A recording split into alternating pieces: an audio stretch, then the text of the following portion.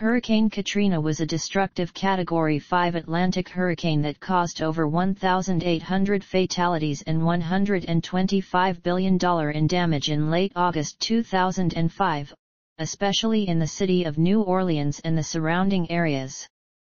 It was at the time the costliest tropical cyclone on record and is now tied with 2017's Hurricane Harvey.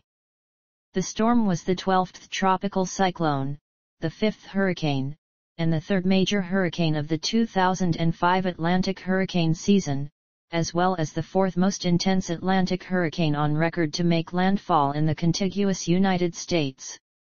Katrina originated on August 23, 2005, as a tropical depression from the merger of a tropical wave and the remnants of Tropical Depression 10. Early the following day, the depression intensified into a tropical storm as it headed generally westward toward Florida, strengthening into a hurricane two hours before making landfall at Hallandale Beach on August 25. After briefly weakening to tropical storm strength over southern Florida, Katrina emerged into the Gulf of Mexico on August 26 and began to rapidly intensify the storm strengthened into a Category 5 hurricane over the warm waters of the Gulf of Mexico before weakening to Category 3 strength at its second landfall on August 29 over southeast Louisiana and Mississippi. Flooding, caused largely as a result of fatal engineering flaws in the flood protection system around the city of New Orleans, precipitated most of the loss of lives. Eventually, 80% of the city, as well as large tracts of neighboring parishes, were inundated for weeks. The flooding also destroyed most of New Orleans's transportation and communication facilities, leaving tens of thousands of people who had not evacuated the city prior to landfall stranded with little access to food, shelter, or other basic necessities. The scale of the disaster in New Orleans provoked massive national and international response efforts, federal, local, and private rescue operations evacuated displaced persons out of the city over the following weeks. Multiple investigations in the aftermath of the storm concluded that the U.S. Army Corps of Engineers, which had designed and built the region's levees decades earlier, was responsible for the failure of the flood control systems, though federal courts later ruled that the Corps could not be held financially liable because of sovereign immunity in the Flood Control Act of 1928. The emergency response from federal, state, and local governments was widely criticized, resulting in the resignations of Federal Emergency Management Agency Director Michael D. Brown and New Orleans Police Department Superintendent Eddie Compass. Many other government officials were criticized for their responses, especially New Orleans Mayor Ray Nagin, Louisiana Governor Kathleen Blanco, and President George W. Bush, while several agencies, including the United States Coast Guard, National Hurricane Center, and National Weather Service, were commended for their actions. The NHC was especially applauded for providing accurate forecasts well in advance. Katrina was the earliest 11th named storm on record before being surpassed by Tropical Storm Kyle on August 14, 2020. The name Katrina was officially retired on April 2006, by the World Meteorological Organization. Meteorological History Hurricane Katrina originated from the merger of a tropical wave and the mid-level remnants of Tropical Depression 10 on August 19, 2005, near the Lesser Antilles. On August 23, the disturbance organized into Tropical Depression 12 over the southeastern Bahamas. The storm strengthened into Tropical Storm Katrina on the morning of August 24. The tropical storm moved towards Florida and became a hurricane only two hours before making landfall between Hallandale Beach and Aventura on the morning of August 25. The storm weakened over land, but it regained hurricane status about one hour after entering the Gulf of Mexico, and it continued strengthening over open waters. On August 27, the storm reached Category 3 intensity on the Saffir-Simpson hurricane wind scale, becoming the third major hurricane of the season. An eye-wall replacement cycle disrupted the intensification but caused the storm to nearly double in size.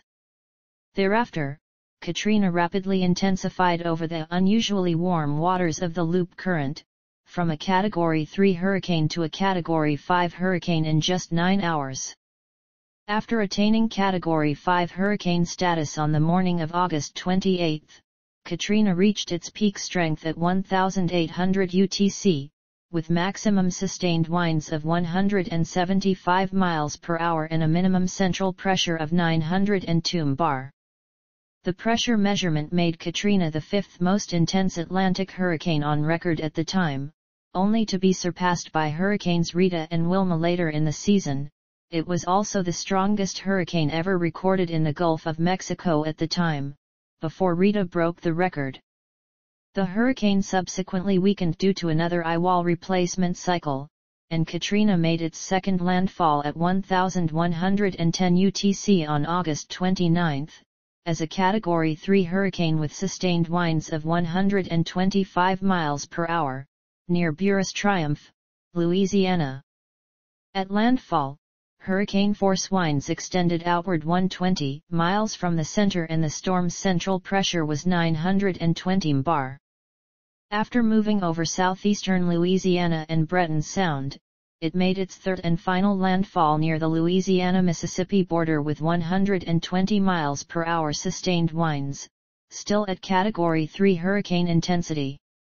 Katrina maintained strength well into Mississippi, finally losing hurricane strength more than 150 miles inland near Meridian, Mississippi.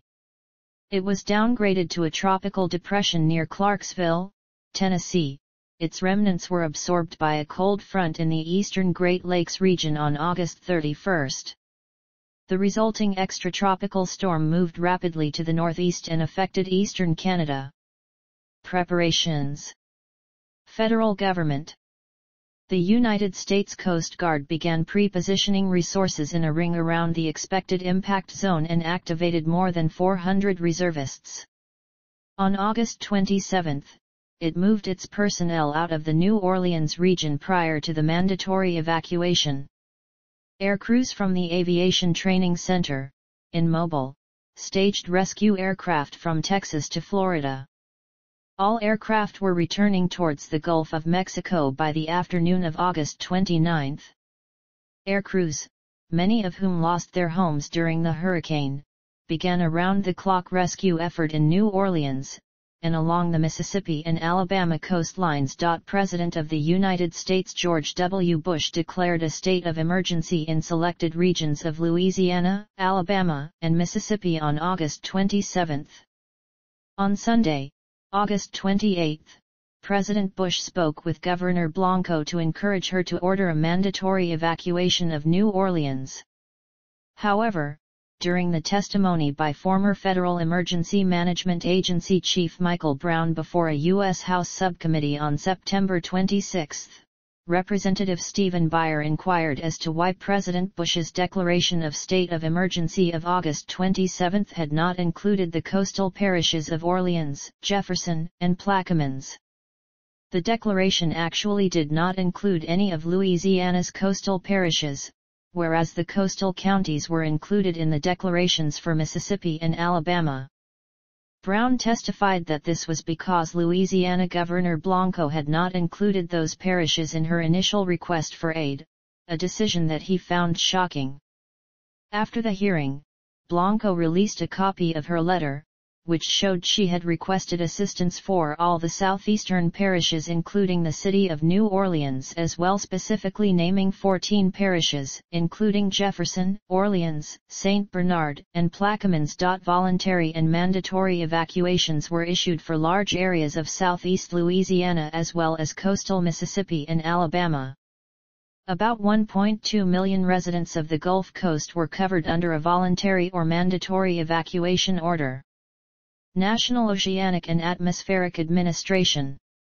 Florida and Gulf Coast. In Florida, Governor Jeb Bush declared a state of emergency on August 24 in advance of Hurricane Katrina's landfall. By the following day, Florida's Emergency Operations Center was activated in Tallahassee to monitor the progress of the hurricane. Before Katrina moved ashore, schools and businesses were closed in the Miami area. Cruise ships altered their paths due to seaports in southeastern Florida closing. Officials in Miami-Dade County advised residents in mobile homes or with special needs to evacuate. To the north in Broward County, residents east of the Intracoastal Waterway or in mobile homes were advised to leave their homes.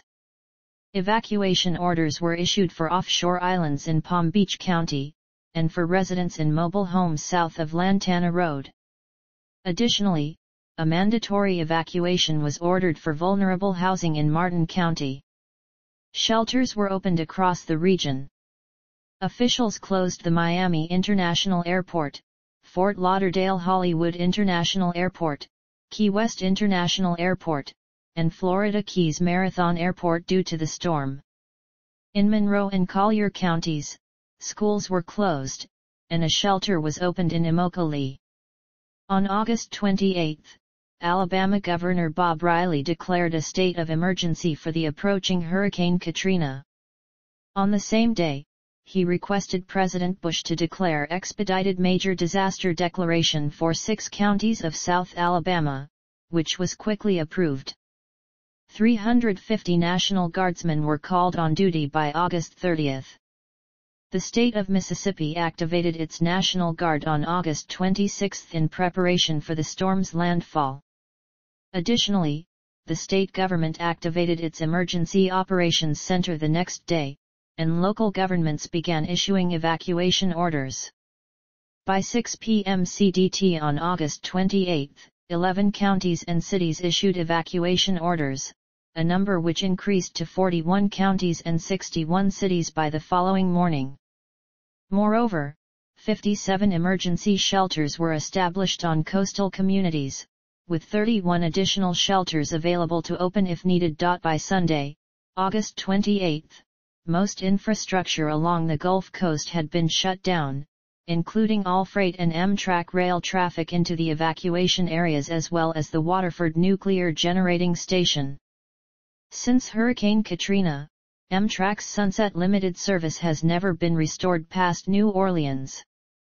Louisiana Impact On August 29, 2005, Katrina's storm surge caused 53 breaches to various flood protection structures in and around the greater New Orleans area, submerging 80% of the city. A June 2007 report by the American Society of Civil Engineers indicated that two-thirds of the flooding was caused by the multiple failures of the city's flood walls. The storm surge also devastated the coasts of Mississippi and Alabama, making Katrina one of the most destructive hurricanes, the costliest natural disaster in the history of the United States, and the deadliest hurricane since the 1928 Okeechobee hurricane. The total damage from Katrina is estimated at $125 billion. However, in February 2021, a severe winter storm struck the United States, causing at least $195 billion in damage in Texas. It surpassed both Katrina and Harvey to become the single costliest natural disaster recorded in the United States. The death toll from Katrina is uncertain, with reports differing by hundreds. According to the National Hurricane Center, 1,836 fatalities can be attributed to the storm, one in Kentucky, two each in Alabama, Georgia, and Ohio, 14 in Florida, 238 in Mississippi, and 1,577 in Louisiana. However, 135 people remain categorized as missing in Louisiana, and many of the deaths are indirect, but it is almost impossible to determine the exact cause of some of the fatalities. A 2008 report by the Disaster Medicine and Public Health Preparedness Journal indicates that 966 deaths can be directly attributed to the storm in Louisiana, including out-of-state evacuees, and another 20 indirectly. Due to uncertain causes of death with 454 evacuees, an upper bound of 1,440 is noted in the paper. A follow-up study by the Louisiana Department of Health and Hospitals determined that the storm was directly responsible for 1,170 fatalities in Louisiana. Federal disaster declarations covered 90,000 square miles of the United States, an area almost as large as the United Kingdom. The hurricane left an estimated 3 million people without electricity. On September 3, 2005, Homeland Security Secretary Michael Chertoff described the aftermath of Hurricane Katrina as probably the worst catastrophe or set of catastrophes in the country's history, referring to the hurricane itself plus the flooding of New Orleans. Even in 2010, debris remained in some coastal communities. Florida, Bahamas, and Cuba. Hurricane Katrina first made landfall between Hallandale Beach and Aventura, Florida on August 25.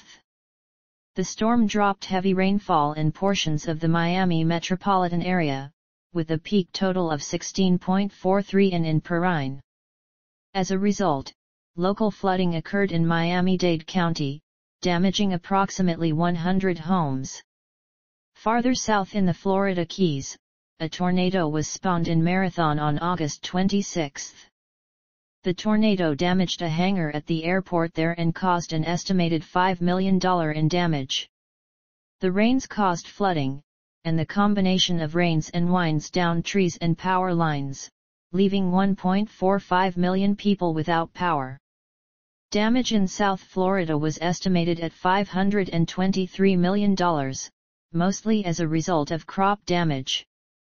Twelve deaths occurred in South Florida, of which three were caused by downed trees in Broward County, three from drowning in Miami-Dade County, three were from carbon monoxide poisoning caused by generators, one was due to a vehicle accident, one occurred during debris cleanup, and one was associated with a lack of electricity. Significant impacts were also reported in the Florida Panhandle. Although Katrina moved ashore in Louisiana and Mississippi, its outer periphery produced a 5.37 feet storm surge in Pensacola. High waves caused beach erosion and closed nearby roadways. There were five tornadoes in the northwestern portion of the state, though none of them caused significant damage. Throughout the Florida Panhandle, the storm resulted in an estimated $100 million in damage. There were two indirect fatalities from Katrina in Walton County as a result of a traffic accident. In the Florida Panhandle, 77,000 customers lost power. Overall, the hurricane killed 14 people and caused at least $623 million in damage. Before striking South Florida, Katrina traversed the Bahamas as a tropical storm. However, minimal impact was reported, with only fresh breezes on various islands. Although Hurricane Katrina stayed well to the north of Cuba, on August 28 it brought tropical storm force winds and rainfall of over 8 into western regions of the island. Telephone and power lines were damaged and around 8,000 people were evacuated in the Pinar del Rio province. According to Cuban television reports the coastal town of Surgidero de Batabano was 90% underwater. Louisiana, New Orleans, Mississippi. The Gulf Coast of Mississippi suffered extremely severe damage from the impact of Hurricane Katrina on August 29, leaving 238 people dead, 67 missing, and billions of dollars in damage, bridges, barges, boats, piers, houses, and cars were washed inland.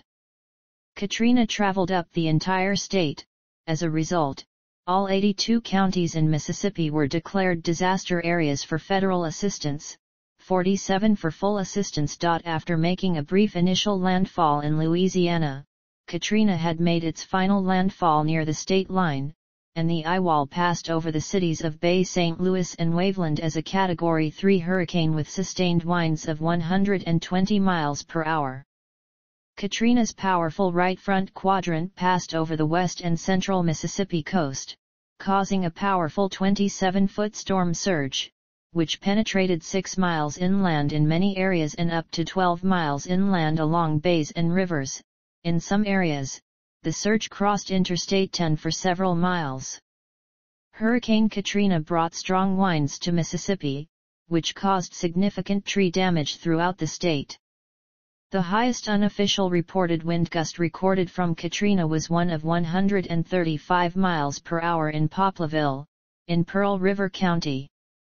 The storm also brought heavy rains with 8-10 inches falling in southwestern Mississippi and rain in excess of 4 inches falling throughout the majority of the state. Katrina caused 11 tornadoes in Mississippi on August 29, some of which damaged trees and power lines. Battered by wind, rain, and storm surge, some beachfront neighborhoods were completely leveled. Preliminary estimates by Mississippi officials calculated that 90% of the structures within half a mile of the coastline were completely destroyed, and that storm surges traveled as much as 6 miles inland in portions of the state's coast.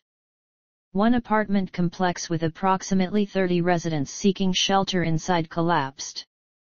More than half of the 13 casinos in the state, which were floated on barges to comply with Mississippi land-based gambling laws, were washed hundreds of yards inland by waves. A number of streets and bridges were washed away. On U.S. Highway 90 along the Mississippi Gulf Coast, two major bridges were completely destroyed, the Bay St. Louis Pass Christian Bridge, and the Biloxi Ocean Springs Bridge. In addition, the eastbound span of the I-10 bridge over the Pascagoula River estuary was damaged. In the weeks after the storm, with the connectivity of the coastal U.S. Highway 90 shattered, traffic traveling parallel to the coast was reduced first to State Road 11 then to two lanes on the remaining I-10 span when it was opened. All three coastal counties of the state were severely affected by the storm. Katrina's surge was the most extensive, as well as the highest, in the documented history of the United States. Large portions of Hancock, Harrison, and Jackson counties were inundated by the storm surge, in all three cases affecting most of the populated areas. Surge covered almost the entire lower half of Hancock County, destroying the coastal communities of Clermont Harbor and Waveland, much of Bay St. Louis, and flowed up the Jordan River, flooding Diamond Head and Kiln.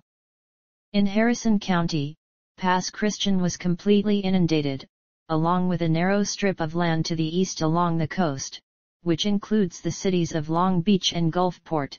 The flooding was more extensive in communities such as D'Iberville, which borders Back Bay. Biloxi, on a peninsula between the Back Bay and the coast, was particularly hard hit, especially the low-lying Point Cadet area. In Jackson County, storm surge flowed up the White River estuary, with the combined surge and fresh water flooding cutting the county in half.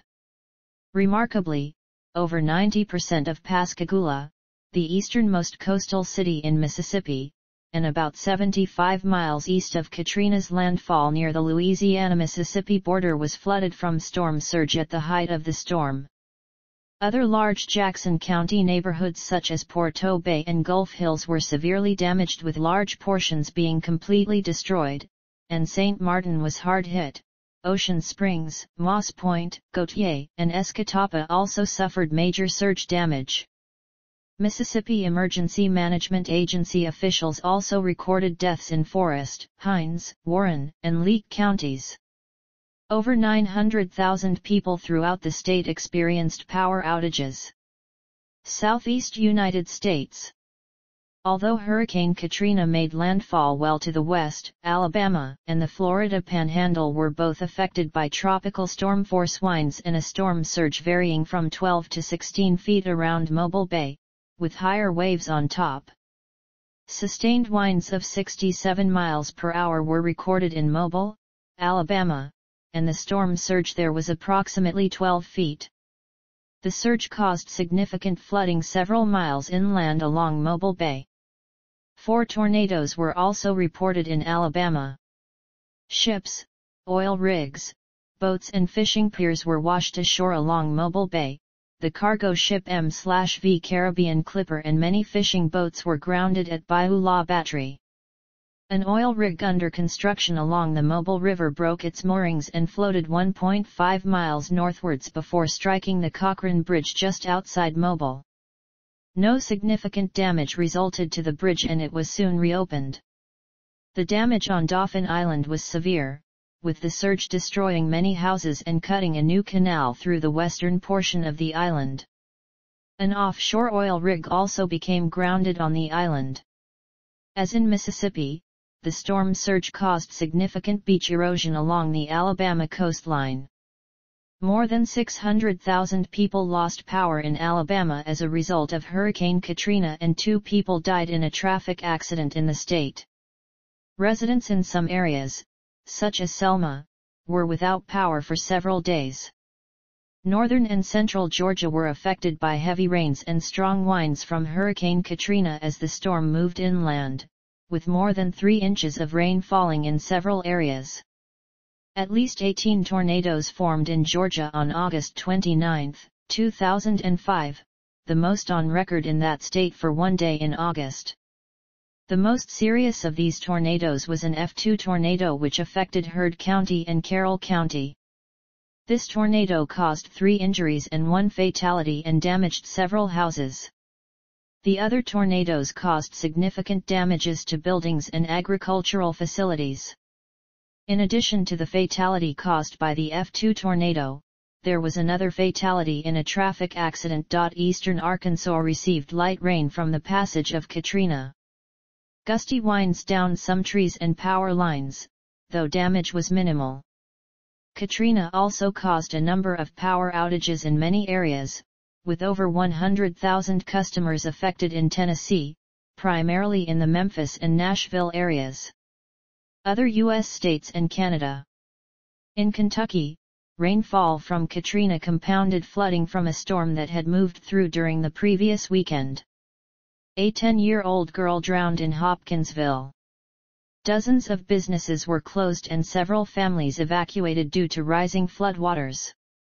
As a result of the flooding, Kentucky Governor Ernie Fletcher declared three counties disaster areas and a statewide state of emergency. Additionally, wind gusts up to 72 miles per hour resulted in some damage. Downed trees and power lines were reported in several counties in western Kentucky, especially Calloway and Christian counties. Overall, more than 10,000 utility customers in western Kentucky experienced power outages. The remnants of Katrina spawned a tornado in Virginia, damaging at least 13 homes in Marshall. In addition, approximately 4,000 people lost electricity. Over 3 in of rain fell in portions of West Virginia, causing localized flooding in several counties. At least 103 homes and 7 buildings suffered some degree of water damage. A number of roads and bridges were inundated or washed out. The remnants of Katrina produced locally heavy precipitation in northeast Ohio, ranging from about 2 to 4 in. Numerous streams and rivers overflowed their banks, forcing the closure of several roads, including Interstate 90 in Cleveland. Two deaths occurred due to a flood-related automobile accident in Huron County. Additionally, hundreds of homes and businesses suffered flood damage. Katrina spawned five tornadoes in Pennsylvania, though none resulted in significant damage. Up to 5 in of rain fell in western New York. Gusty winds also left approximately 4,500 people in Buffalo without electricity. The remnants of Katrina brought 3 to 6 in of rain to portions of Massachusetts, causing flash flooding in Bristol and Plymouth counties. Several roads were closed due to floodwater inundation in Acushnet, Dartmouth, New Bedford, and Wareham, including Route 18 in New Bedford. Very minimal impact was reported in Rhode Island, with winds downing a tree and two electrical poles in the city of Warwick. In Vermont, 2.5 in of rain in Chittenden County caused cars to hydroplane on Interstate 89, resulting in many automobile accidents. The storm brought 3 to 5 in of precipitation to isolated areas of Maine and up to 9 in near Patten. Several roads were inundated or washed out by overflowing brooks and streams, including sections of U.S. Route 1 and Maine Routes 11 and 159. Several structures and one parked vehicle were also affected by the waters. Wind gusts up to 60 miles per hour also impacted parts of Maine, felling trees and causing power outages in Bar Harbor, Blue Hill, Dover Foxcroft, Sedgwick Ridge, and Sorrento. In Canada, the remnants of Katrina brought rainfall amounts in excess of 3.94 into many locations between the Niagara Peninsula and the St. Lawrence River Valley. Severe local flooding occurred in Quebec, forcing the evacuations of dozens of homes in some communities as rivers began overflowing their banks and sewage systems were becoming overwhelmed by the influx of precipitation. Inundated and washed out roads, including Route 138 along the north shore of the St. Lawrence River, Route 172 north of Tadoussac, and Route 385 near Forestville left several communities isolated for at least a week. Aftermath Economic effects The economic effects of the storm reached high levels. The Bush administration sought $105 billion for repairs and reconstruction in the region, which did not account for damage to the economy caused by potential interruption of the oil supply, destruction of the Gulf Coast's highway infrastructure, and exports of commodities such as grain. Katrina damaged or destroyed 30 oil platforms and caused the closure of nine refineries. The total shut-in oil production from the Gulf of Mexico in the six-month period following Katrina was approximately 24% of the annual production and the shut-in gas production for the same period was about 18%. The forestry industry in Mississippi was also affected, as 1.3 million acres of forest lands were destroyed. The total loss to the forestry industry from Katrina is calculated to rise to about $5 billion. Furthermore, hundreds of thousands of local residents were left unemployed. Before the hurricane, the region supported approximately 1 million non-farm jobs, with 600,000 of them in New Orleans. It is estimated that the total economic impact in Louisiana and Mississippi may eventually exceed $150 billion. Forensic accountants were involved in the assessment of economic damages resulting from this catastrophe. Katrina displaced over 1 million people from the central Gulf Coast to elsewhere across the United States, becoming the largest diaspora in the history of the United States. Houston, Texas, had an increase of 35,000 people, Mobile, Alabama, gained over 24,000, Baton Rouge, Louisiana, over 15,000, and Hammond, Louisiana, received over 10,000, nearly doubling its size. Chicago, Illinois received over 6,000 people, the most of any non-southern city. By late January 2006, about 200,000 people were once again living in New Orleans, less than half of the pre-storm population. By July 1, 2006, when new population estimates were calculated by the U.S. Census Bureau, the state of Louisiana showed a population decline of 219,563 or 4.87%. Additionally, some insurance companies have stopped insuring homeowners in the area because of the high costs from Hurricanes Katrina and Rita, or have raised homeowners insurance premiums to cover their risk. Environmental effects Katrina also had a profound impact on the environment. The storm surge caused substantial beach erosion, in some cases completely devastating coastal areas. In Dauphin Island, Approximately 90 miles to the east of the point where the hurricane made landfall, the sand that comprised the island was transported across the island into the Mississippi Sound, pushing the island towards land. The storm surge and waves from Katrina also severely damaged the Chandeleur Islands, which had been affected by Hurricane Ivan the previous year. The U.S. Geological Survey has estimated 217 sq mi of land was transformed to water by the hurricanes Katrina and Rita. Before the storm, subsidence and erosion caused loss of land in the Louisiana wetlands and bayous.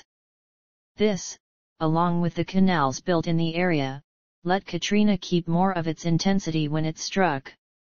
The lands that were lost were breeding grounds for marine mammals, brown pelicans, turtles, and fish, and migratory species such as redhead ducks. Overall, about 20% of the local marshes were permanently overrun by water as a result of the storm. The damage from Katrina forced the closure of 16 national wildlife refuges. Breton National Wildlife Refuge lost half its area in the storm. As a result, the hurricane affected the habitats of sea turtles, Mississippi sandhill cranes, red-cockaded woodpeckers, and Alabama beach mice. Katrina also produced massive tree loss along the Gulf Coast, particularly in Louisiana's Pearl River Basin and among bottomland hardwood forests. Before the storm, the standard mortality rate for the area's trees was 1.9%, but this interval increased to 20.5% by the end of 2006.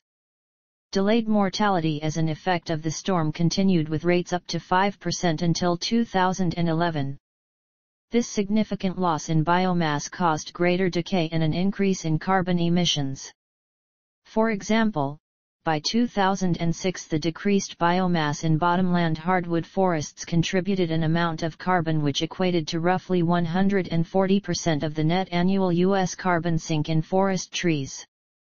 The storm caused oil spills from 44 facilities throughout southeastern Louisiana, which resulted in over 7 million U.S. gallons of oil being leaked.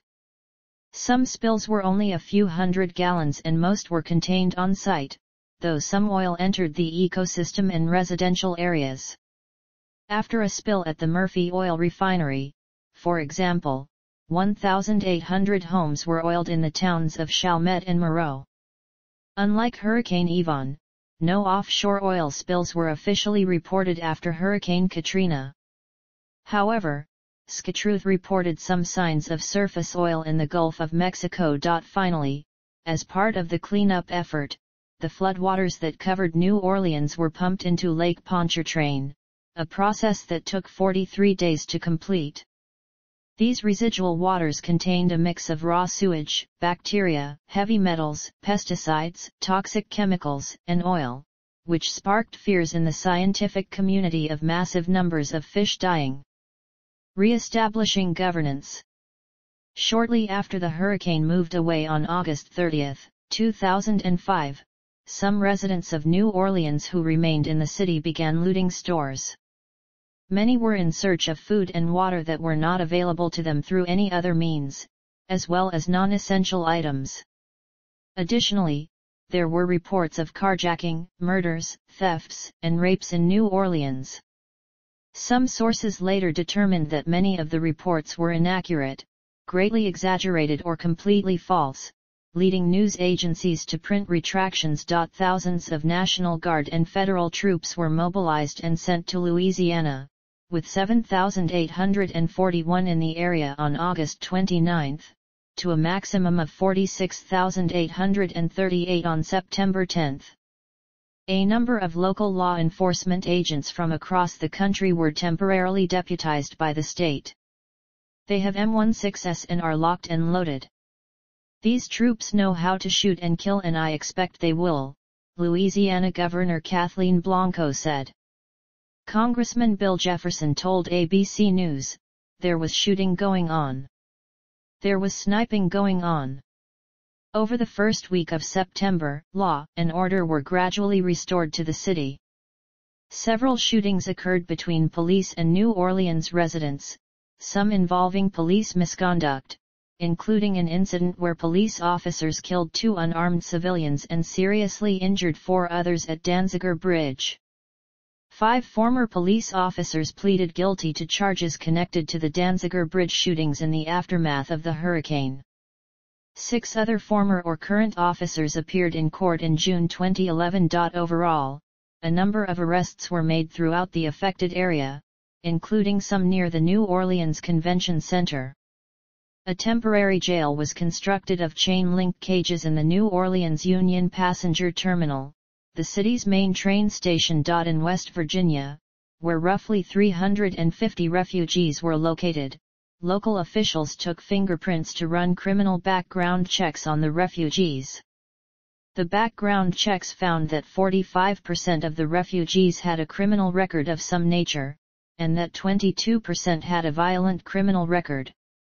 Media speculation fueled a popular perception that the displaced New Orleans residents brought a wave of crime into the communities where they relocated. However, detailed studies of crime statistics in these communities did not reveal a significant increase in violent crime. Government response Within the United States and as delineated in the National Response Plan, disaster response and planning is first and foremost a local government responsibility. When local government exhausts its resources, it then requests specific additional resources from the county level.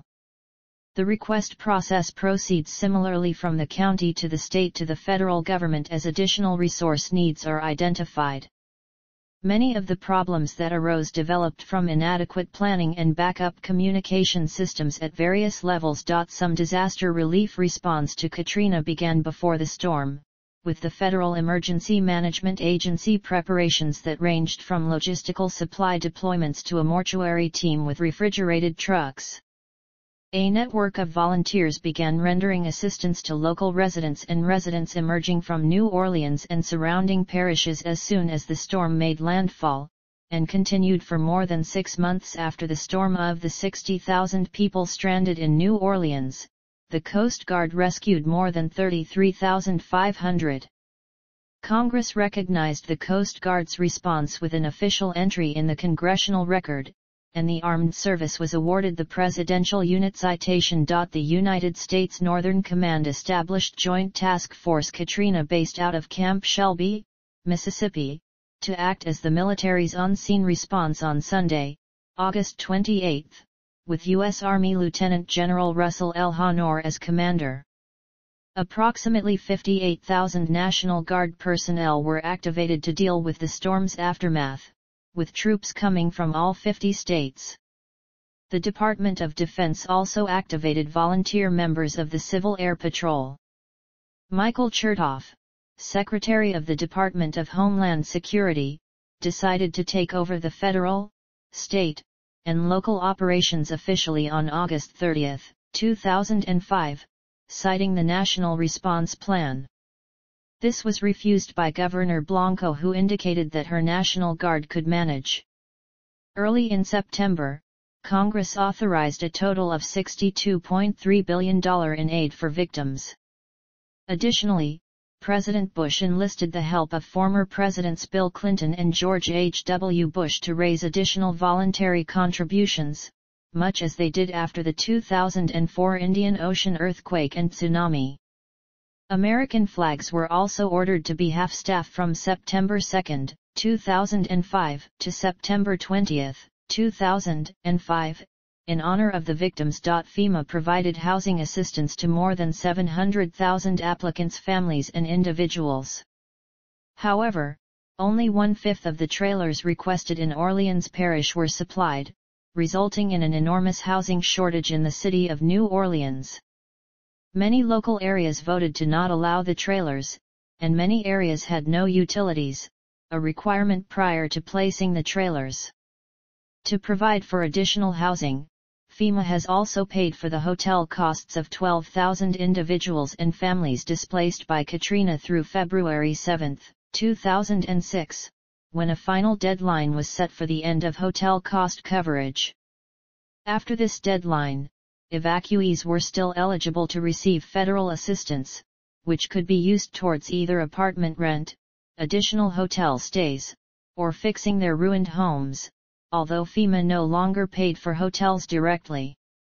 As of March 30, 2010, there were still 260 families living in FEMA-provided trailers in Louisiana and Mississippi. Law enforcement and public safety agencies, from across the United States, provided a mutual aid response to Louisiana and New Orleans in the weeks following the disaster. Many agencies responded with manpower and equipment from as far away as California, Michigan, Nevada, New York, and Texas. This response was welcomed by local Louisiana authorities as their staff were either becoming fatigued, stretched too thin, or even quitting from the job. Point two weeks after the storm, more than half of the states were involved in providing shelter for evacuees. By four weeks after the storm, evacuees had been registered in all 50 states and in 18,700 zip codes half of the nation's residential postal zones. Most evacuees had stayed within 250 miles, but 240,000 households went to Houston and other cities over 250 miles away and another 60,000 households went over 750 miles away.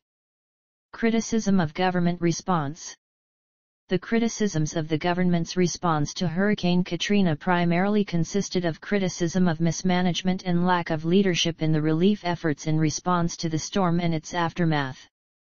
More specifically, the criticism focused on the delayed response to the flooding of New Orleans, and the subsequent state of chaos in the city. The neologism Katrinagate was coined to refer to this controversy, and was a runner-up for 2005 Word of the Year. Within days of Katrina's August 29 landfall, public debate arose about the local, state and federal government's role in the preparations for and response to the hurricane. Criticism was initially prompted by televised images of visibly shaken and frustrated political leaders, and of residents who remained stranded by floodwaters without water, food, or shelter. Deaths from thirst, exhaustion, and violence days after the storm had passed fueled the criticism, as did the dilemma of the evacuees at facilities such as the Louisiana Superdome and the New Orleans Civic Center. Some alleged that race, class, and other factors could have contributed to delays in government response. For example, during a concert for hurricane relief, a benefit concert for victims of the hurricane, rapper Kanye West veered off script and harshly criticized the government's response to the crisis, stating that George Bush doesn't care about black people. In accordance with federal law, President George W. Bush directed the Secretary of the Department of Homeland Security, Michael Chertoff, to coordinate the federal response. Chertoff designated Michael D. Brown, head of the Federal Emergency Management Agency, as the principal federal official to lead the deployment and coordination of all federal response resources and forces in the Gulf Coast region.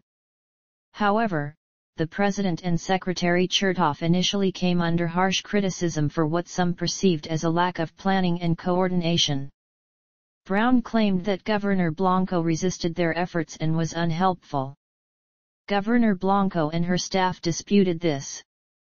Eight days later, Brown was recalled to Washington and Coast Guard Vice Admiral Thad W. Allen replaced him as Chief of Hurricane Relief Operations. Three days after the recall, Michael D. Brown resigned as director of FEMA in spite of having received recent praise from President Bush. Politicians, activists, pundits, and journalists also directed criticism at the local and state governments headed by Mayor Nagin of New Orleans and Louisiana Governor Blanco. Nagin and Blanco were criticized for failing to implement New Orleans's evacuation plan and for ordering residents to a shelter of last resort without any provisions for food, water, security, or sanitary conditions. Perhaps the most important criticism of Nagin was that he delayed his emergency evacuation order until 19 hours before landfall, which led to hundreds of deaths of people who could not find any way out of the city. The destruction wrought by Hurricane Katrina raised other, more general public policy issues about emergency management, environmental policy, poverty, and unemployment. The discussion of both the immediate response and of the broader public policy issues may have affected elections and legislation enacted at various levels of government. The storm's devastation also prompted a congressional investigation, which found that FEMA and the Red Cross did not have a logistics capacity sophisticated enough to fully support the massive number of Gulf Coast victims. Additionally, it placed responsibility for the disaster on all three levels of government.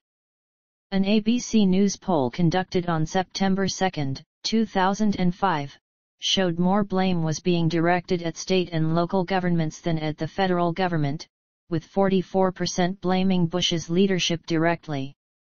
A later CNN slash USA Today slash Gallup poll showed that respondents disagreed widely on who was to blame for the problems in the city following the hurricane 13% said Bush, 18% said federal agencies, 25% blamed state or local officials and 38% said no one was to blame. International response Over 70 countries pledged monetary donations or other assistance. Cuba and Venezuela were the first countries to offer assistance, pledging over $1 million.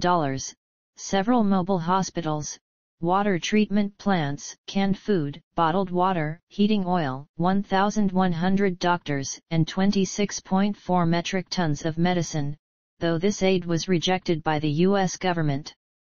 Kuwait made the largest single pledge, $500 million, other large donations were made by Qatar and the United Arab Emirates, South Korea, Australia, India, China, New Zealand, Pakistan, Norway, and Bangladesh. India sent tarps, blankets, and hygiene kits. An Indian Air Force IL-76 aircraft delivered 25 tons of relief supplies for the Hurricane Katrina victims at the Little Rock Air Force Base, Arkansas, on September 13, 2005. Israel sent an IDF delegation to New Orleans to transport aid equipment including 80 tons of food, disposable diapers, beds, blankets, generators and additional equipment which were donated from different governmental institutions, civilian institutions, and the IDF.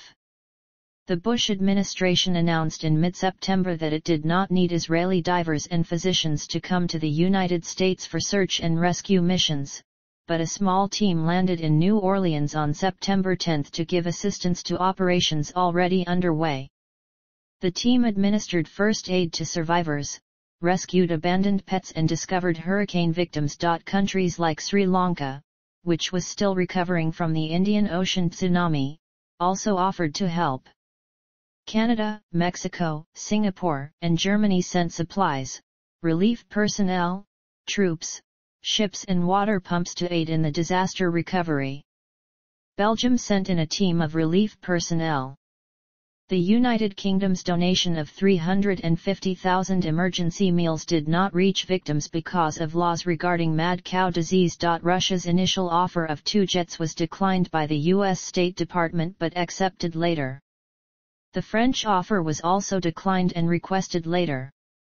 Non-governmental organization response The American Red Cross, America's Second Harvest, Southern Baptist Convention, Salvation Army, Oxfam, Common Ground Collective, Burners Without Borders, Emergency Communities, Habitat for Humanity, Catholic Charities, Direct Relief, Service International, A River of Hope, the Church of Jesus Christ of Latter-day Saints, and many other charitable organizations provided aid to victims in the aftermath of the storm.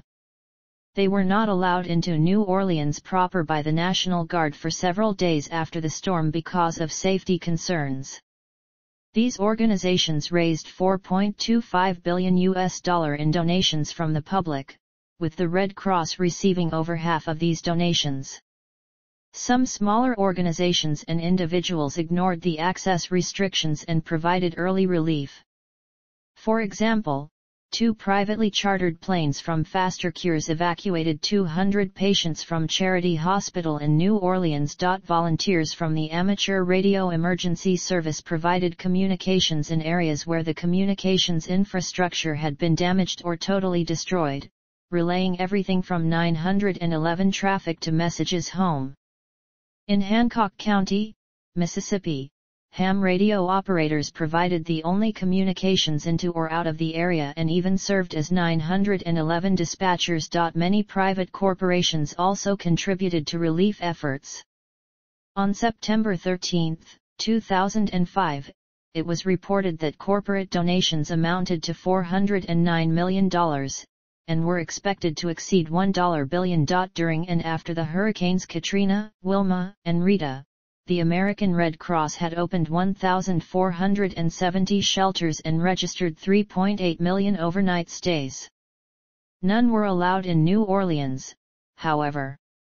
A total of 244,000 Red Cross workers were utilized throughout these three hurricanes.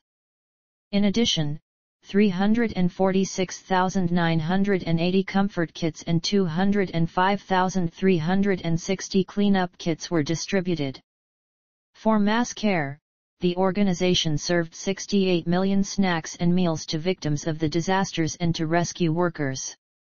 The Red Cross also had its disaster health services meet 596,810 contacts, and Disaster Mental Health Services met 826,590 contacts. Red Cross emergency financial assistance was provided to 1.4 million families. Hurricane Katrina was the first natural disaster in the United States in which the American Red Cross utilized its Safe and Well Family Location website. Direct Relief provided a major response in the Gulf states so health providers could treat the local patients and evacuees. Direct Relief furnished $10 million in medical material aid and cash grants to support clinics and health centers in the area. In the year following Katrina's strike on the Gulf Coast, the Salvation Army allocated donations of more than $365 million to serve more than 1.7 million people in nearly every state. The organization's immediate response to Hurricane Katrina included more than 5.7 million hot meals and about 8.3 million sandwiches, snacks, and drinks served in and around New Orleans. Its SATERN network of amateur radio operators picked up where modern communications left off to help locate more than 25,000 survivors. Salvation Army pastoral care counselors were on hand to comfort the emotional and spiritual needs of 277,000 individuals. As part of the overall effort, Salvation Army officers, employees, and volunteers contributed more than 900,000 hours of service. Analysis of New Orleans levee failures. According to a modeling exercise conducted by the U.S. Army Corps of Engineers, two-thirds of the deaths in Greater New Orleans were due to levee and flood wall failure.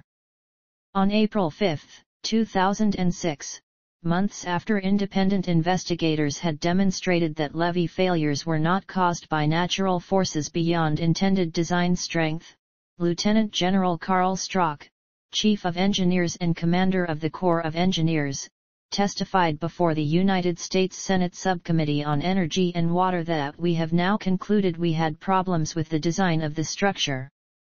A June 2007 report released by the American Society of Civil Engineers determined that the failures of the levees and flood walls in New Orleans were found to be primarily the result of system design and construction flaws.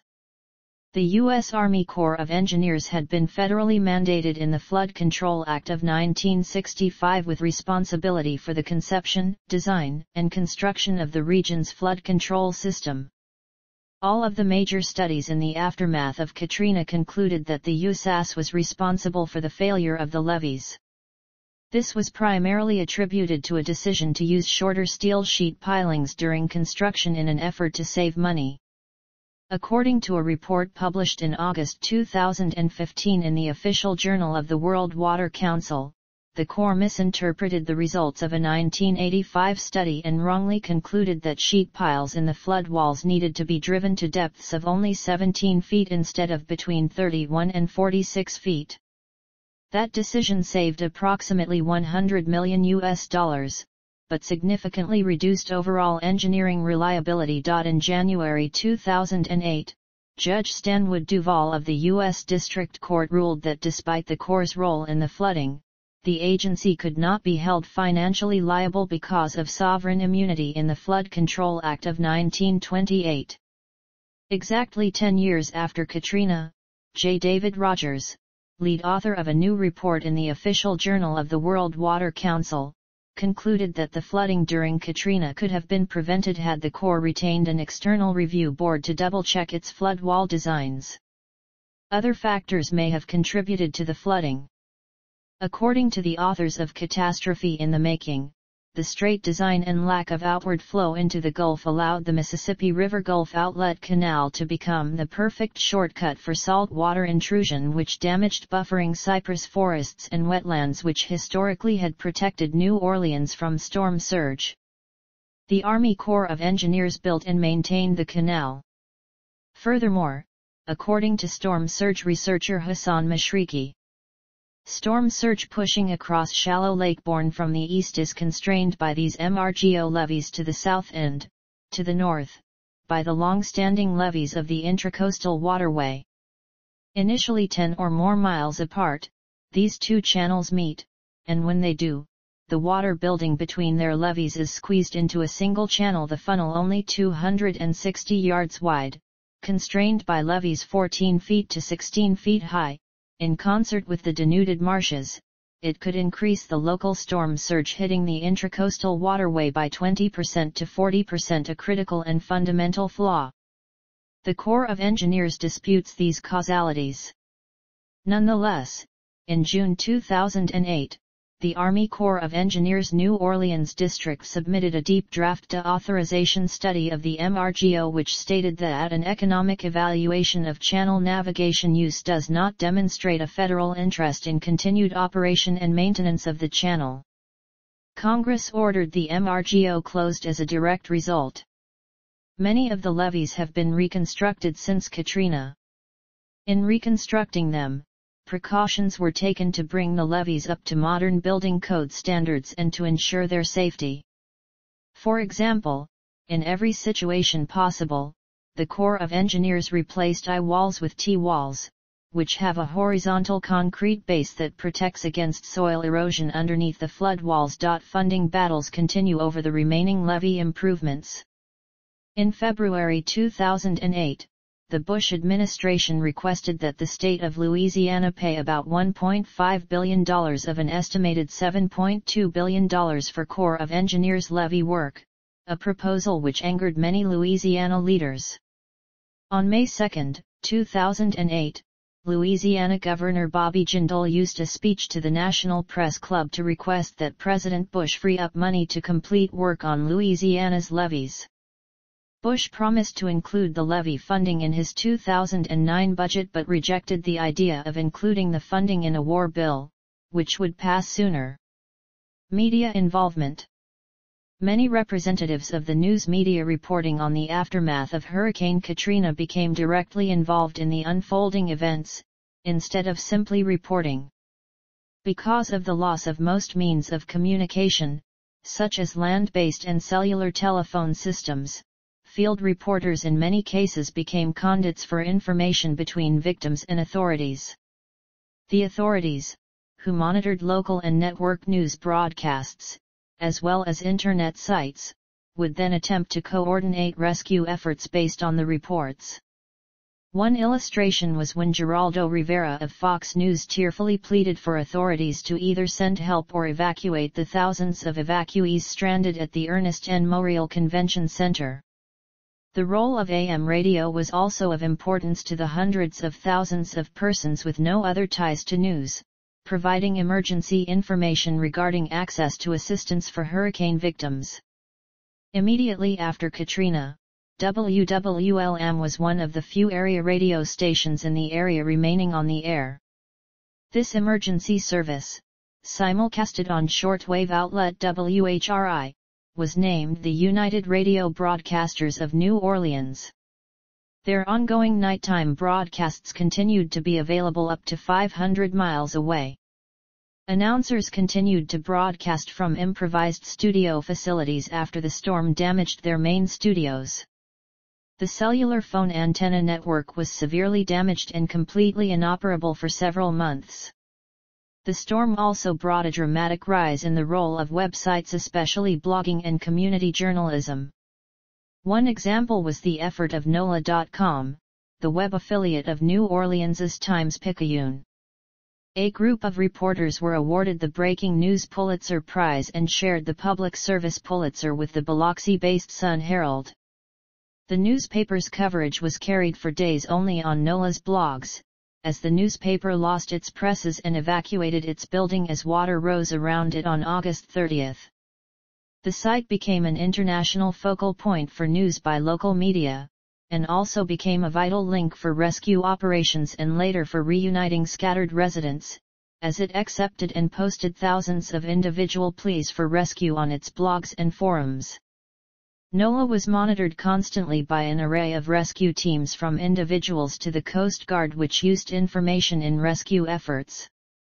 Much of this information was relayed from trapped victims via the SMS functions of their cell phones, to friends and relatives outside the area, who then relayed the information back to NOLA.com. The aggregation of community journalism, user photos, and the use of the Internet site as a collaborative response to the storm attracted international attention and was called a watershed moment in journalism. In the wake of these online-only efforts, the Pulitzer Committee for the first time opened all its categories to online entries. As the U.S. military and rescue services regained control over the city, there were restrictions on the activity of the media. On September 9, the military leader of the relief effort announced that reporters would have zero access to efforts to recover bodies in New Orleans. Immediately following this announcement, CNN filed a lawsuit and obtained a temporary restraining order against the ban. The next day the government backed down and reversed the ban. Retirement of name Because of the large death toll and destruction of property along the Gulf Coast, the name Katrina was officially retired on April 6, 2006, by the World Meteorological Organization at the request of the U.S. government. The name will never again be used for another North Atlantic hurricane. It was replaced by Katia on List 3 of the Atlantic Hurricane Naming Lists, which was used in the 2011 Atlantic hurricane season. Studies concerning post-Katrina victims an article published in the Community Mental Health Journal from January 2016 revealed information about a recent study on the psychosocial needs of Hurricane Katrina evacuees that temporarily resided in Dallas, Texas. More than one-fourth of the sample met the criteria for major depressive disorder. About one-third of the individuals received a referral to mental health services for meeting symptom criteria for incident MDD and PTSD. In a study published in Maternal and Child Health Journal, five to seven years after the disaster, 308 New Orleans pregnant women were interviewed about their exposure to Katrina. Researchers found that there were associations between experiencing damage during Katrina and birth weight, Thus researchers concluded that natural disasters may have long-term effects on pregnancy outcomes. Furthermore, it was concluded that women who are most vulnerable to disaster may be more vulnerable to poor pregnancy outcome. From a September 2015 Journal of Current Psychology, a study examined the attitudes of older, long-term residents of Baton Rouge, Louisiana toward displaced newcomers to their community. After using multiple tests, analyses, and descriptive statistics, the study suggested residents grew to become more patient, tolerant, and friendly towards newcomers. The study also suggests, however, that residents felt more fearful and suspicious of the evacuees, as well as the fact that they were being taken advantage of more. Reconstruction Reconstruction of each section of the southern portion of Louisiana has been addressed in the Army Corps LACPR Final Technical Report, which identifies areas to not be rebuilt and areas where buildings need to be elevated. The technical report includes locations of possible new levees to be built, suggested existing levee modifications, inundation zones, water depths less than 14 feet, raise in place of structures, water depths greater than 14 feet, buyout of structures, velocity zones and buyout of structures areas for five different scenarios. The U.S. Army Corps of Engineers submitted the report to the U.S. Congress for consideration, planning, and response in mid-2009. Records Katrina is the costliest tropical cyclone on record, tying with Hurricane Harvey in 2017. The storm was the fourth most intense Atlantic hurricane on record to make landfall in the contiguous United States, behind the 1935 Labor Day hurricane, Hurricane Camille in 1969, and Hurricane Michael in 2018. Katrina was also the earliest 11th named storm in the Atlantic until Tropical Storm Kyle surpassed it on August 14, 2020, beating Katrina by 10 days, as it was named on August 24, 2005. See also. List of Atlantic hurricanes. List of Category 5 Atlantic hurricanes. List of Florida hurricanes. Wetlands of Louisiana. Crescent Rising. Hurricanes and Climate Change. Hurricane Katrina in Fiction Hurricane on the Bayou.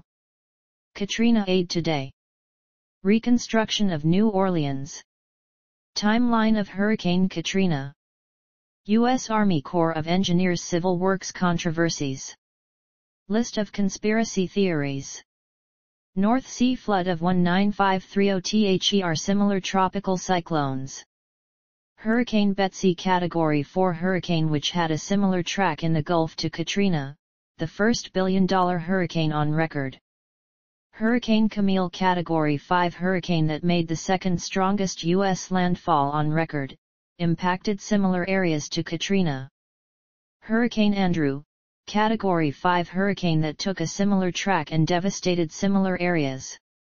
Hurricane Rita Category 5 hurricane which struck the Gulf Coast of the United States at Category 3 intensity just a month after Katrina impacted Louisiana. Hurricane Harvey Category 4 hurricane which made landfall in Texas and is the wettest cyclone in U.S. history, tied with Katrina as the costliest tropical cyclone on record. Hurricane Laura Category 4 hurricane which struck near Cameron, Louisiana at peak intensity just one day prior to Katrina's 15th anniversary. Hurricane Ida Category 4 hurricane which made landfall in Louisiana at peak intensity on the same day of Katrina's 16th anniversary.